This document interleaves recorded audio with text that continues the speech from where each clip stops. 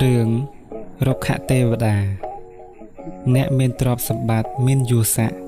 គួររក្សាអ្នកក្រឥតយស័កក្នុងកាលកន្លងទៅហើយព្រះបាទព្រហ្មទត្តសោយរាជសម្បត្តិក្នុងក្រុងពេរិណសីកាលនោះព្រះពោធិសត្វទ្រង់សោយព្រះជាតិជារុក្ខទេវតាគង់នៅនាដើមឈើមួយក្បែរព្រៃធំ មានរុក្ខទេវតាមួយអង្គទៀតអាស្រ័យនៅនឹងដើមឈើធំបំផុត ក្នុងព្រៃចិត្តលំនៅរបស់ព្រះពោធិសត្វក្នុងព្រៃនោះមានរាជសីនិងខ្លាធំអាស្រ័យនៅផង ដោយហេតុតែរាជសីនិងខ្លាអាស្រ័យនៅ មនុស្សទាំងឡាយមិនហ៊ានទៅធ្វើស្រែចម្ការក្នុងទីជិតព្រៃនោះឬកាប់ដើមឈើក្នុងព្រៃនោះឡើយព្រោះខ្លាចសត្វទាំងពីរបៀតបៀនសីហៈនិងខ្លា តែងចាប់មរឹកផ្សេងផ្សេងស៊ីជាអាហារចោលសាច់និងឆ្អឹងក៏ពីសពេញព្រៃនោះ សាច់និងឆ្អឹងសំណល់ទាំងឡាយនោះក៏រលួយមានក្លិនឆ្អេះឆ្អាបស្អុយផ្សាយទៅពីពេញព្រៃទាំងមូលឯរុក្ខទេវតាដែលនៅនឹងដើមឈើធំ ជាអ្នកល្ងងខ្លៅមិនយល់ហេតុផលជ្រៅឆ្ងាយ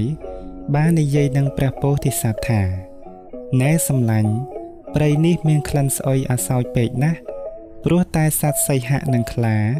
ដែលជាសត្វចង្រៃយើងត្រូវដេញវាឲ្យរត់ចេញទៅ កុំឲ្យនៅតទៅទៀតព្រះពោធិសត្វនិយាយខាត់ថាណែសំឡាញ់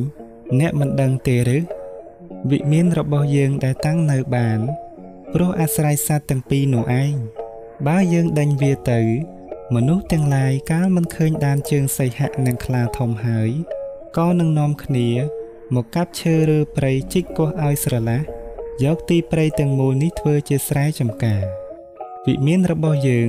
មកជាវិនិច្ឆ័យមិនខានព្រោះហេតុនោះអ្នកកំចងចិត្តចង់ដេញសត្វទាំងពីរនោះឡើយ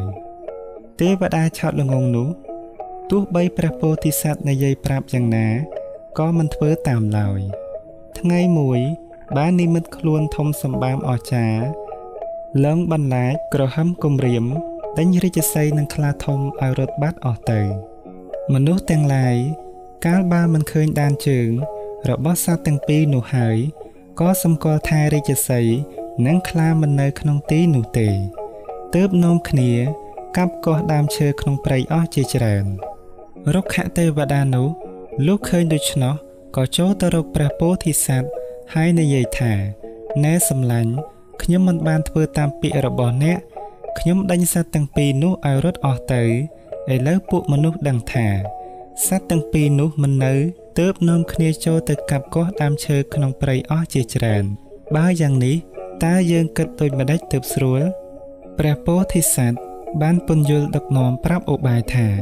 ឥឡូវសត្វទាំងពីរនោះទៅនៅក្នុងព្រៃឯណោះអ្នកត្រូវទៅបបួលវាឲ្យត្រឡប់មកវិញរុក្ខទេវតាឆោតល្ងងក៏ចូលទៅក្នុងព្រៃនោះតាមពាក្យពោធិសត្វអង្គុយផ្គងអញ្ជលីខាងមុខសត្វទាំងពីរហើយ អង្វរឲ្យត្រឡប់ទៅនៅក្នុងព្រៃដដែលវិញសត្វទាំងពីរនោះទោះបីទេវតាអង្វរយ៉ាងណាក៏បដិសេធយ៉ាងដាច់ខាតថាអ្នកចូលទៅចុះយើងមិនទៅទេរុក្ខទេវតាទាល់គំនិតក៏ត្រឡប់ទៅលំនៅរបស់ខ្លួនវិញ មនុស្សទាំងឡាយបាននាំគ្នាជីកកោះកាប់រំលើងរំលំដើមឈើរហូតអស់ព្រៃធំនោះទៅឯទេវតាឆោតល្ងង់ ក៏ខានបាននៅក្នុងទីនោះតទៅទៀត